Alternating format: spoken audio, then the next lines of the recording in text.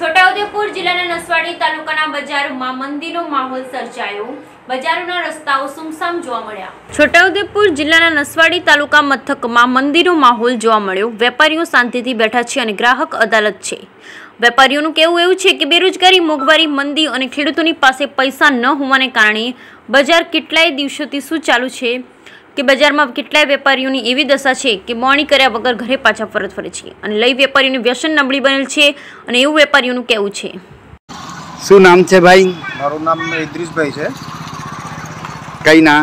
હું નસવારી ગામનો નસવારી તાલુકાનો. આ દુકાનની અંદર અત્યારે બિલકુલ મંદીનો માહોલ છે. બજારની અંદર બિલકુલ સુમસામ રોડ દેખાય છે. આજે બજાર કેટલાય દિવસથી આવા જ માહોલની અંદર છે કે બિલકુલ બોણીના ફાફા પડી ગયા છે બજાર માહોલમાં. આજે એક એક વેપારી શાંતિથી બિલકુલ સુકૂનથી ઘરની અંદર બેઠા છે. બિલકુલ દુકાનો નથી ખોલતા બિલકુલ દુકાનની અંદર ધંધા નથી. બિલકુલ અત્યારે બજારમાં મંદીનો માહોલ છે. કારણ? કારણ કે પાસે રૂપિયો નથી. ખેડૂત પાસે ખેતીની કોઈ આવક નથી. એના માટે બિચારા ખેડૂત બી કોઈ ચીજની ખરીદી કરવા આવી નથી શકતા. એના માટે બિલકુલ મંદીનો બજારની અંદર માહોલ છવાઈ ગયો છે. તમારી દુકાન ક્યાં છે? આ અમારી દુકાન છે બાજુમાં છે તે. કયું ગામમાં? આ નસવારી તાલુકામાં નસવારીમાં પ્રોપર ભાઈ તમારું શું નામ છે? કુલ શર્મા.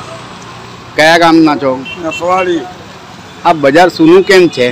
આ બજાર એટલા માટે સૂનું થઈ ગયું છે કે મોંઘવારી વધી ગઈ છે. ને ખેડૂતી પૈસા નથી રૂપિયા નથી. એની લીધે આ બજારમાં ખેડૂતો ખરીદી કરવા આવતા હતા.